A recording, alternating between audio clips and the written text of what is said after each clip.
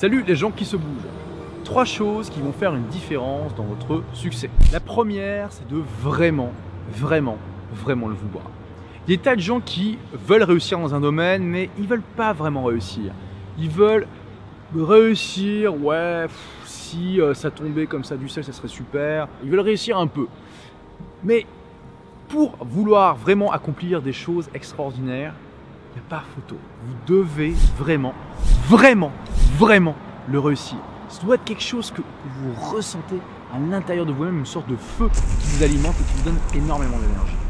Et même si aujourd'hui vous êtes dans un état qui est complètement l'opposé de ça, que vous êtes euh, peut-être apathique ou même désespéré, sachez que rien n'est perdu. Dans ma dernière année d'école, avant que, que je la quitte à 18 ans pour créer mon entreprise à 19, J'étais vraiment tellement démotivé que je démotivais les profs, que le directeur m'avait convoqué dans son bureau pour me dire qu'il fallait que je fasse quelque chose parce qu'il y a des profs qui voulaient plus faire cours avec moi tellement j'étais démotivé. Et pourtant, quelques mois plus tard, j'étais à fond dans mon projet de création d'entreprise, j'étais inarrêtable, j'avais le feu sacré, je fonçais dans les montagnes et je faisais un trou dedans. Et la différence entre ces deux Olivier qui étaient la même personne qui avait que quelques mois d'écart, c'est simplement que j'avais trouvé quelque chose qui me passionnait vraiment, que j'avais vraiment, vraiment, vraiment envie d'accomplir et euh, qui me challengeait, qui me faisait sortir ma zone de confort. Cette aventure, ce projet dans lequel je me suis lancé, qui me passionnait tellement, c'est quelque chose qui m'a révélé à moi-même. C'est quelque chose qui m'a transformé, qui m'a permis de m'accomplir en tant qu'être humain et qui en plus, étant donné mon jeune âge, m'a fait passer de l'adolescence à l'âge adulte. Vous aussi, vous pouvez vous révéler à vous-même en trouvant ce qui vous passionne vraiment et en vous lançant dans un projet qui a de la gueule et qui va vous challenger. Euh, après, je dis pas qu'il faut euh, vous lancer en mode kamikaze dans ce projet. Je vous invite à aller voir cette vidéo sur le fait de prendre des risques mesurés en tant qu'entrepreneur. Mais c'est vraiment, je pense, la clé du succès dans la vie, de savoir trouver comme ça quelque chose qui vous passionne et de réaliser un projet dans ce domaine qui vous passionne, qui vous challenge. Ensuite, ça peut paraître être un conseil banal, mais il faut démarrer.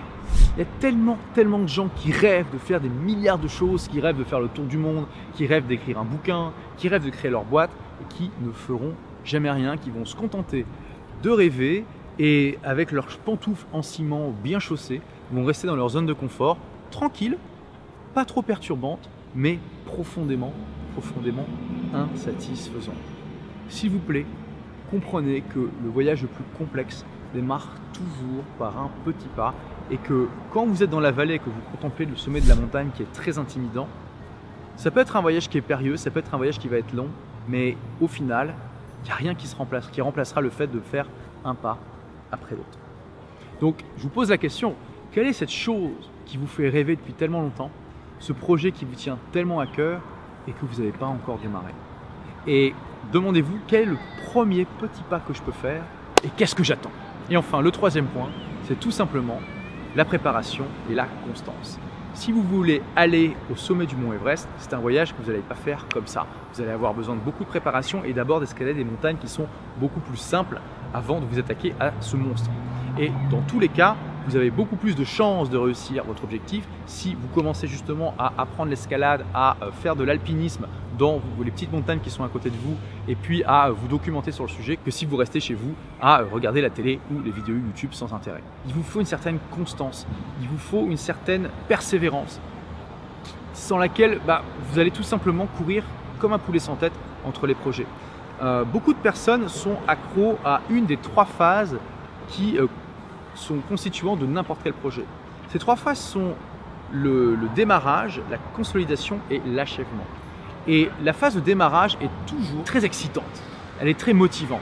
Quand on découvre une nouvelle activité, on est souvent tout feu tout flamme, tout est beau, tout est rose, c'est magique, c'est génial. C'est au bout d'un certain temps qui peut être variable en fonction des activités, au moment euh, où euh, on va commencer à voir qu'on dépense beaucoup d'énergie pour peu de résultats et qu'à côté de nous, il y a des gens qui font ça depuis 3, 5 ans et qui obtiennent des résultats incroyables comme ça, apparemment sans effort, on va se dire merde, c'est quand même frustrant, euh, que le plaisir va diminuer et qu'on va faire effectuer la traversée du désert qui est le tombeau de la majorité des gens dans la plupart des activités. Il y a beaucoup de personnes qui sont accros à la phase de démarrage d'une activité parce que finalement elles recherchent toujours ce shoot euh, d'excitation, de euh, bonheur qui est lié à la découverte un peu naïve d'une activité.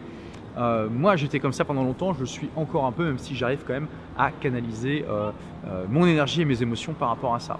je vous pose la question, est-ce que vous aussi vous êtes accro à cette phase de démarrage et que c'est classique pour vous d'abandonner au bout d'un certain temps quand vous faites la traversée du désert, si oui, bah, je vous pose la question, est-ce que ça ne vaudrait pas le coup, pour une fois, de persévérer dans cette chose qui vous plaît finalement, quand même foncièrement, et de comprendre que bah, c'est normal au début, quand on démarre une voiture, quand on est en première, de dépenser beaucoup d'énergie pour passer seulement de 0 à 20, et qu'à chaque fois qu'on passe une vitesse, eh bien, le rapport entre l'énergie dépensée et les résultats obtenus s'améliore. Merci d'avoir regardé cette vidéo. Comme d'habitude, j'ai besoin de votre feedback si vous l'avez aimé, si vous pensez que d'autres personnes devraient la voir pour être inspirées eh bien, euh, à avoir davantage de succès dans la vie et à réaliser ce qui leur plaît vraiment. Cliquez sur j'aime juste en dessous, partagez la vidéo éventuellement en l'envoyant à la personne à laquelle vous pensez. Je vous dis à demain pour la prochaine vidéo et en attendant, n'oubliez pas, soyez rebelles, soyez intelligents et faites partie des gens qui se bougent. Ciao